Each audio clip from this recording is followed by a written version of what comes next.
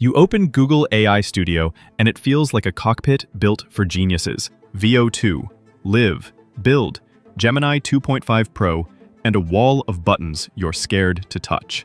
You've heard that this platform gives you free, unlimited access to Google's most powerful AI models. But in practice, it just sits there, acting like a slightly fancier chatbot. You don't know which model to pick, how Live actually works, what build is even for, or why everyone keeps talking about Veo and Gemini. Today, we're going to fix that. I'm going to turn Google AI Studio into your personal AI command center. You'll learn how to generate ultra-consistent images with Nano Banana and Imagen 4. Create cinematic clips with Veo 2. Use Live to have an AI that literally watches your screen in real time. Based on what I can see in your OBS settings, you should set the encoder preset to maximum quality. Build your own apps with the Build tab, and replace paid tools with Gemini 2.5 Pro for reasoning and Gemini 2.5 Pro TTS for voice. By the end of this video, you won't just know the interface. You'll have a complete workflow you can use to work, study, and create content with AI every single day, without paying a cent. And so you don't waste time copying anything by hand, every prompt and direct link I use today for Nano Banana, Imagen 4, Veo, Build, and Gemini is already waiting for you in my Discord, linked in the description. And if you stay until the end, I'll show you how to unlock a PDF with the best free AIs and advanced tricks we don't share on YouTube. Let's start with the thing most people care about first, images. Once you're inside Google AI Studio, look at the menu on the left and click Playground. On the right, you'll see a model box. Switch that to Images. You'll see several options, but don't panic, just follow me. First, select Nano Banana. Right now, this is one of Google's strongest image models. And the best part is that it supports basically any aspect ratio you need. The real power of Nano Banana is control and consistency. It's insanely good at changing specific parts of an image without destroying everything else. And it actually understands the reference images you upload. So if you want to save money on ads, you can upload a simple photo of the product you're selling and ask it to place that product in different scenes. On a desk, in a futuristic city, on a beach, at sunset, whatever you want. It will keep your product intact and redesign the world around it. On top of that, Nano Banana can keep the same style across multiple generations. If you're building a viral story, a carousel, or a sequence of shots for a video, this matters a lot. You don't want your character to look like a different person in every frame. Nano Banana is great at keeping that visual thread, so your content feels like one coherent project instead of a collage of random images. If you're following along and getting good results already, you're ahead of most people who open Google AI Studio and never get past the first generation. But I want to give you an image model almost nobody is using properly. Go back to the model selector and this time click on Imagen 4 Ultra. According to Google itself, this is their most powerful model when it comes to overall image quality and especially text inside images. This is the one you want for thumbnails, posters, covers, social posts, anything where the text on the image actually has to be readable and not look like AI gibberish. Here's how I recommend you set it up. First, choose the number of results. After a lot of testing, the sweet spot is generating two images at a time. That gives you options without overloading the system. Then pick your aspect ratio. 16 to 9 for YouTube thumbnails and banners, 9 to 16 for shorts, TikTok, and Reels, 1 to 1 if you want square posts. Finally, choose the output resolution. You can experiment, but I suggest starting with 2K so you get sharp details and clean text without waiting forever. With Imagen 4 Ultra, you just write your prompt and you get super sharp, detailed images with text that actually looks like text with no random broken letters. If your main goal is speed and you don't need as much detail, try Imagen 4 Fast, which is a lighter version designed to be quicker. Between Nano Banana for style consistency and Imagen 4 Ultra slash Fast for anything with text, you already have a full image studio inside Google AI Studio. Now let's move to a completely different pane. Those moments when you're working, you hit a problem, you dump screenshots and context into an AI, and it still doesn't get what's going on. This is exactly what Live was built for. On the right side of Google AI Studio, click on the Live section. Select the model you see there and let's set it up like a pro. Imagine you could just tell an AI, build me a complete daily planner. And a few seconds later, the app is ready. That's what Creao does. It's an AI native app builder that lets you create full apps and content tools just by chatting. No coding needed. For this video, I actually asked Creao to build a planner that I use myself to organize my YouTube ideas and my daily tasks. We go into the website. This is the dashboard, and I type my idea up here in the AI box. Create a planner with all the important features for everyday life. Creao thinks for a moment, suggests connecting things like your calendar or your tasks, and then it instantly generates the whole app. Today view, next seven days, full calendar, buttons to add tasks and events, all running in your browser. If you don't want to start from scratch, down here you've got templates, content calendars, finance trackers, customer managers, ticket systems. You pick one that's close, and the AI customizes it with you. And the best part is the edit step. At any time, you can ask it to modify your tool. Add a high priority tag, change the layout, create a view only for VIP clients, and Creao rewrites the code and updates your app in seconds. You can try Creao using the link I'm leaving for you down in the description. First, choose the voice you want your assistant to have. This is how it will sound when it talks back to you. Ready to build something awesome? Got a project in mind? What do you want to explore? Leave the media resolution as it is. That's good enough for most cases. And very important, activate thinking mode. This gives the model more time to process what it's seeing and hearing, so it can give deeper answers instead of basic, surface-level replies. Live has three main modes. The first is the classic voice assistant. You talk, it listens, and it responds. But it doesn't feel like a stiff text-to-speech robot. It's more like you're on a call with a person who actually follows the conversation in real time. That alone is handy, but the real power starts with the other two modes.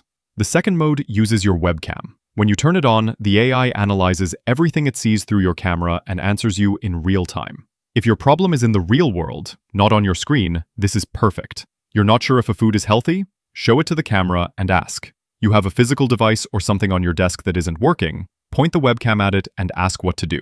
You can even use this mode from your phone, so you literally carry a visual assistant in your pocket that can look at things and help you on the spot. But the most powerful option in Live, the one that can realistically change the way you work, is screen sharing. Click on Share Screen and choose the screen or window you want the AI to see.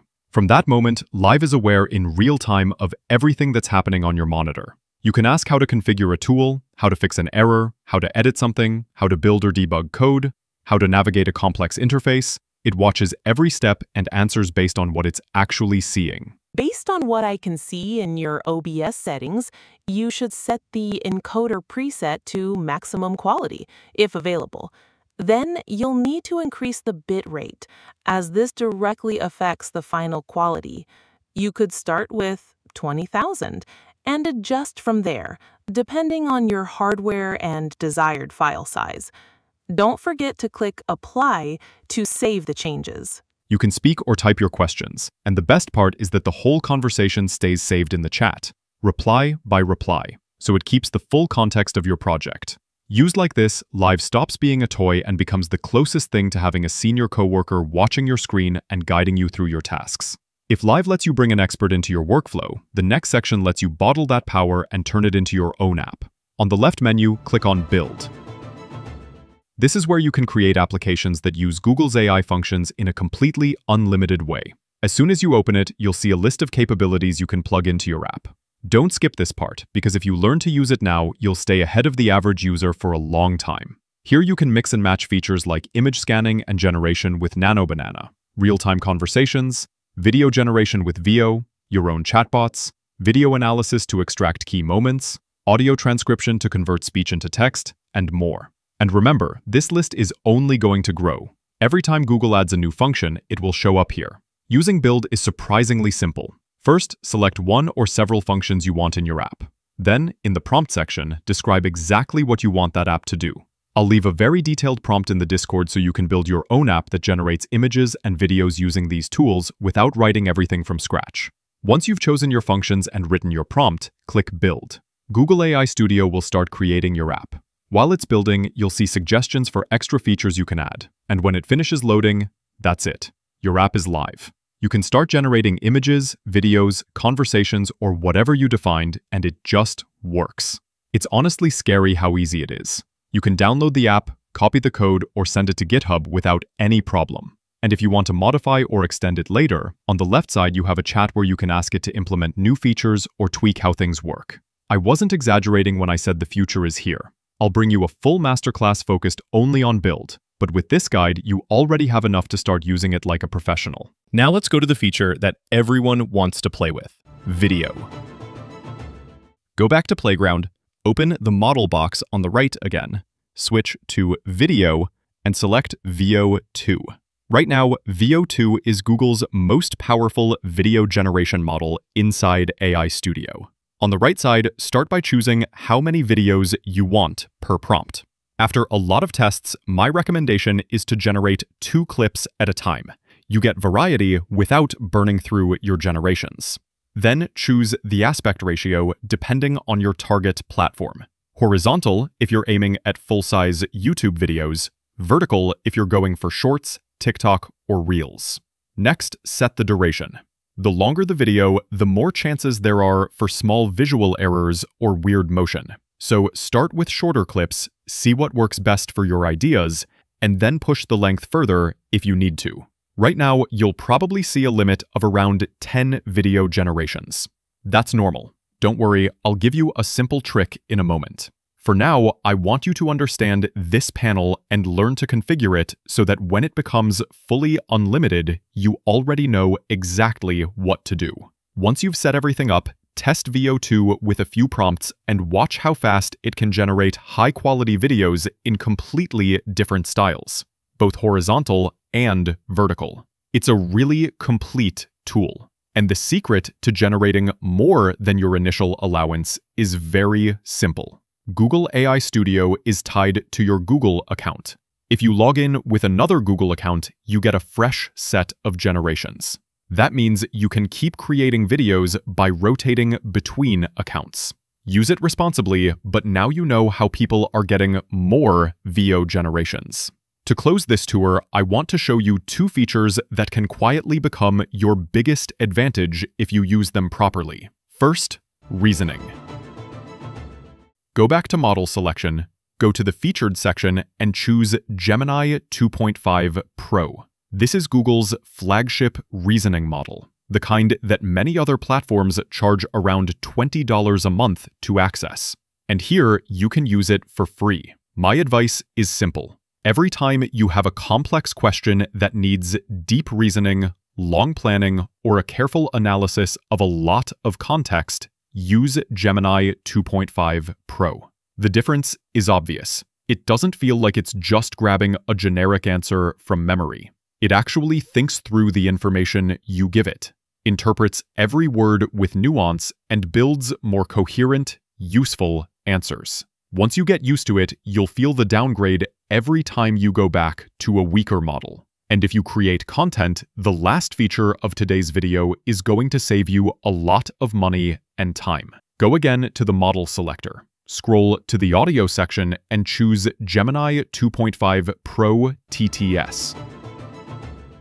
Think of it as a free, unlimited ElevenLabs style voice engine built directly into Google AI Studio. For anyone who has never used ElevenLabs, this type of tool is basically perfect for generating AI voices, narrations for viral videos, tutorials, ads, stories, in any language with a huge variety of voices, all without limits.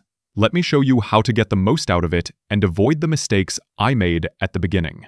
On the right side, go to Single Speaker Audio.